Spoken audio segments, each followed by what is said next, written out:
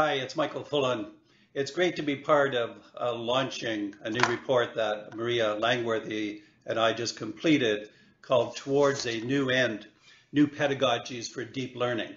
So uh, this is a report done on behalf of a partnership. Uh, there's several partners that are pooling their interest uh, to uh, kind of map out three big, uh, I think, aspects of it that really are very promising, exciting. Uh, one is what we call the push and pull problem or push and pull dynamic. Schools are really now increasingly boring for students the way they're organized so that it really is difficult to engage students in the present system. Uh, equally important, I think, and maybe even more so, is that teachers are alienated. They're off kilter.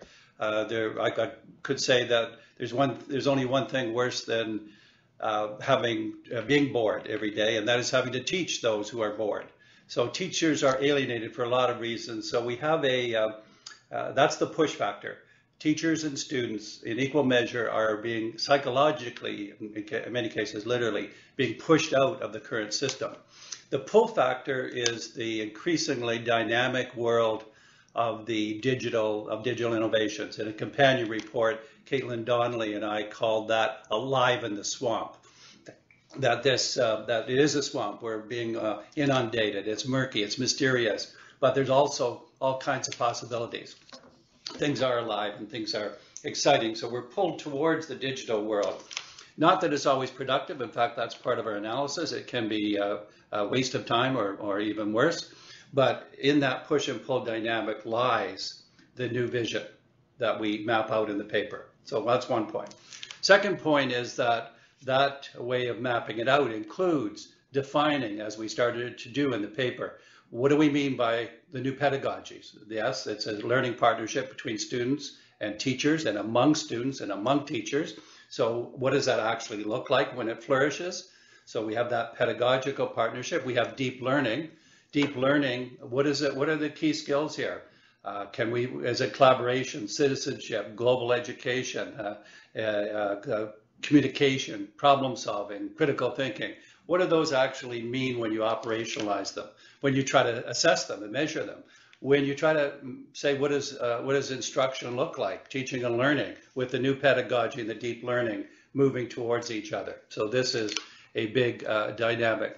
But I think also very important about this report and our intended action, the group of us, the partners, is that we see the answer not in continuing to map out in a kind of research uh, distant way what, it, what the, the, immediate future looks like, but really uh, creating it uh, with clusters of schools where that the partners, uh, clusters of schools around the world, uh, maybe up to a thousand schools, and ourselves working together where some of this creativity is already happening on the ground, but to provide a framework for focusing it, a framework for learning from it, and for people getting excited, more and more committed.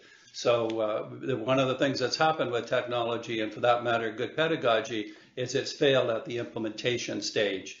And we think we have a framework that gets people in early, that deals with a very attractive and necessary uh, solution, necessary because of the push factors and attractive because there really is exciting learning that just is kind of goes off the top of what's been possible up to this point. So there are things coming together now, converging uh, between uh, uh, those that are learning in schools and in the environment and those that are trying to shape it. There's a really strong affinity now, strong possibilities for solutions.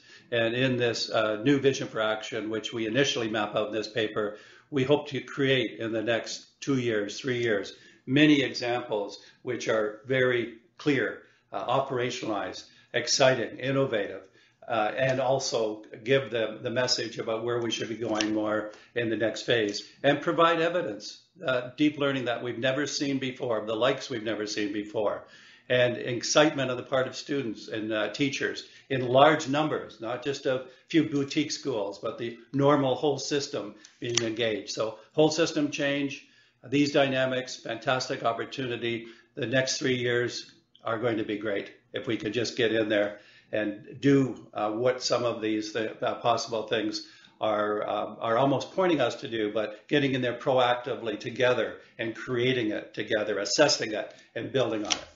So I hope you'll be invited into that. You'll feel invited and you'll be part of that evolution.